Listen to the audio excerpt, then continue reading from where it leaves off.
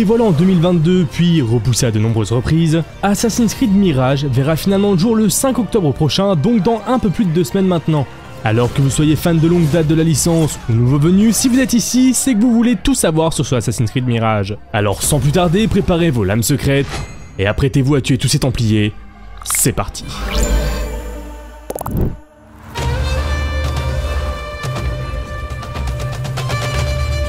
Assassin's Creed Mirage prendra place durant le 9e siècle, et plus précisément en 861. Il se déroulera donc une quinzaine d'années avant Assassin's Creed Valhalla, et tant mieux puisque c'est une préquelle à ce dernier. Vous incarnerez donc Basim Ibn Ishaq, protagoniste que l'on a rencontré dans le précédent opus, qui était un simple voleur de rue, jusqu'à ce qu'une certaine Roshan le rencontre, et décide d'en faire son initié au sein de la confrérie de ceux que l'on ne voit pas, qui se feront par la suite appeler les Assassins. Suite à un entraînement corsé à Alamut, la forteresse de ceux que l'on ne voit pas, il quittera Ambar, sa ville pour se rendre vers Bagdad, terrain de jeu de ce nouvel opus, et devra alors éliminer les membres de l'ordre des Anciens, tout en étant hanté par une entité malveillante.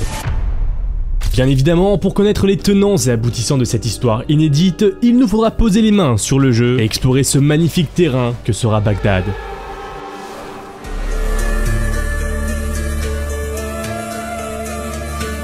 Vous l'aurez sans doute déjà compris, mais avec Assassin's Creed Mirage, l'on dit en voir à cette habitude que l'on avait pris depuis Assassin's Creed Origins, à savoir avoir un pays complet comme terrain de jeu. Non là, avec Assassin's Creed Mirage, c'est la ville immersive qui est remise au centre du gameplay. On aura donc accès à Bagdad, mais également ses environs et quelques petits villages. Je pourrais notamment parler de Ambar, la ville de début de Assassin's Creed Mirage, ou encore la forteresse d'Alamut, qui elle ne sera pas libre d'accès, mais vous permettra d'y aller à quelques reprises dans le jeu. Bref, revenons-en à Bagdad. Cette ville sera divisée en quatre quartiers, l'Arbia, l'Abbasiya, Car, qui était d'ailleurs le terrain de jeu de la preview à laquelle on a eu accès. Je vous invite d'ailleurs à aller voir cette preview si ce n'est pas déjà fait en cliquant en haut à droite de votre écran. Et bien évidemment, la ville ronde entourée de remparts qui se trouvent au centre de Bagdad. Mais bon, c'est bien beau, à l'oral ça fait énormément de zones à explorer, mais qu'en est-il de la taille par rapport aux autres Assassin's Creed? Eh bien, d'après les développeurs, ce Assassin's Creed Mirage, ou tout du moins Bagdad, devrait être similaire, en termes de taille, au Paris de Assassin's Creed Unity, ou encore Constantinople de Assassin's Creed Révélation, et je parle bel et bien juste de la ville de Bagdad. Tous les à côté, que ce soit Alamut, Ambar ou le désert, ne rentrent pas en compte ici, même si on ne va pas se mentir, les trois quarts du jeu, voire beaucoup plus, se dérouleront à Bagdad et non pas aux alentours.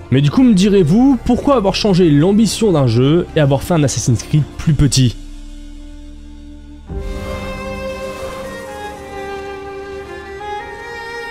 Initialement envisagé comme étant un DLC à Assassin's Creed Valhalla, Mirage, ayant un contenu beaucoup trop ambitieux, s'est finalement retrouvé comme étant un opus secondaire de la licence Assassin's Creed. Alors certes, ça en un jeu avec un budget moindre pour son développement, mais cependant, utilisant les mêmes assets qui sont disponibles depuis Assassin's Creed Unity, on ne va pas se mentir, ce Assassin's Creed Mirage, bien que promettant un retour aux sources, utilisera bon nombre d'éléments déjà présents dans d'autres Assassin's Creed. L'on retrouvera un système de niveau qui ici n'est pas en chiffres mais maquillé en termes de rang dans la confrérie des assassins, à savoir recrues, apprentis, novices, etc. Et chacune des zones de Assassin's Creed Mirage, bien qu'étant disponible dès le début du jeu, aura un niveau de difficulté attribué à cette classe, donc comme je viens de le dire, assassin, etc. Et quitte à parler de niveau de difficulté, les développeurs ont vraiment voulu mettre l'accent sur l'infiltration et ont donc logiquement augmenté les dégâts que pouvaient nous faire les adversaires, histoire de rendre les combats beaucoup plus difficiles. Il sera donc beaucoup plus envisageable de fuir le combat via le parcours et monter sur les toits de la ville plutôt que de battre vos adversaires, enfin surtout si c'est encore à corps, étant donné que le système de combat a été un petit peu retravaillé. L'on dit au revoir à ce qui avait été mis en place depuis Origins, à savoir se battre contre des sacs à PV.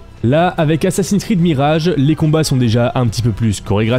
les coups auront vraiment un impact sur nos ennemis qui pourront parer, enfin bref, les combats, bien que n'étant pas au cœur du gameplay, ont bien été retravaillés et seront beaucoup plus plaisants à jouer. Mais si le combat n'est pas au centre du gameplay, c'est tout simplement parce que l'infiltration et la discrétion, elles, le sont. Pour ce faire, le parcours a également été retravaillé, histoire de le rendre beaucoup plus fluide et rapide et plus plaisant à jouer, qui fait que vous aurez moins de difficultés à prendre de la hauteur pour repérer vos environs et ainsi frapper dans l'ombre pour faire jaillir la lumière. Bien évidemment, qui dit frapper depuis l'ombre dit infiltration et discrétion, vous aurez donc accès à pas mal de gadgets qui vous permettront de jouer en ce sens. Parmi ces derniers, l'on retrouvera les bombes fumigènes, les pétards pour attirer des ennemis vers un certain endroit, la serbacane pour les empoisonner ou les endormir, des mines de détection ou encore les fameux couteaux de lancer qui auront plus ou moins de dégâts en fonction de si vous tirez dans le corps ou dans la tête. Et bien évidemment, qui dit Assassin's Creed, en dehors de ces gadgets, vous aurez le retour de la lame secrète qui vous permettra d'assassiner vos cibles, et pas de n'importe quelle manière, puisque le système de Black Box fait son grand retour.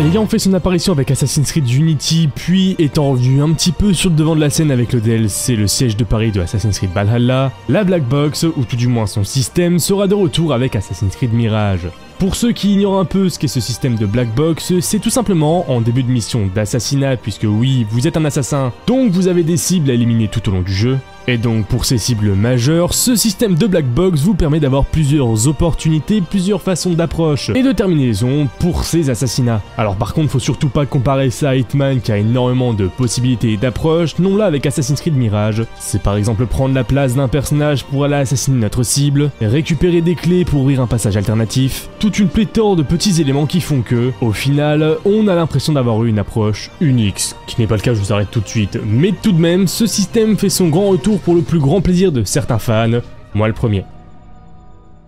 Et pour en finir avec toutes ces informations, passons aux infos pratiques autour de Assassin's Creed Mirage. Vous l'aurez donc compris au fil de cette vidéo, Mirage sera de moindre envergure que ses prédécesseurs, et heureusement, ça se fait ressentir au niveau du prix, puisque contrairement à beaucoup de jeux PS5 et Xbox Series vendus 80€ sur le marché à leur sortie, ce Assassin's Creed Mirage lui sera vendu à 50€ maximum, ou alors 59 si vous êtes sur une version Deluxe, qui vous apportera seulement cosmétiques et missions supplémentaires. Mais si vous cherchez bien, vous pourrez même trouver le jeu en version boîte sur PlayStation 5, PlayStation 4, Xbox pour moins de 40 euros, j'irais même jusqu'à dire 36 euros. Donc 36 euros pour un jeu qui dure entre 25 et 30 heures pour atteindre les 100%, et ben on va pas se mentir, c'est plutôt pas mal. Et en dehors des deux autres éditions dont je viens de vous parler, il y aura également une édition collector, celle que j'ai personnellement pris, disponible pour 150 euros qui inclura le jeu de base ainsi que les DLC inspirés de Prince of Persia de l'édition Deluxe, une carte de Bagdad en physique, un steelbook exclusif et bien évidemment, c'est habituel dans les versions collector d'Assassin's Creed, une figurine de Basim sur un monument de Bagdad. Donc que vous soyez sur PlayStation, Xbox ou encore PC, vous pourrez poser vos mains sur Assassin's Creed Mirage dès le 5 octobre 2023. Personnellement, il me tarde. Et c'en est fini pour cette vidéo, j'espère qu'elle vous aura plu, si c'est le cas, n'hésitez pas à nous le dire en commentaire, on se fera un plaisir de lire tout ça, et mettez-nous également une note sur 10 pour nous montrer à quel point vous avez une hype autour de Assassin's Creed Mirage, personnellement 10 sur 10, c'est un retour aux sources que j'attends depuis bien longtemps. Si la vidéo vous a plu, n'oubliez pas le petit pouce bleu, l'abonnement et le partage si ce n'est pas déjà fait, et bien sûr, n'oubliez pas que le magazine de Jeux Vidéo Magazine est disponible dans vos kiosques en version papier ou bien dans la description, vous aurez un lien aux côté de nos réseaux sociaux pour avoir accès à la version numérique. Mais enfin bref, c'était Max pour JVM en direct de vos écrans. Et ciao tout le monde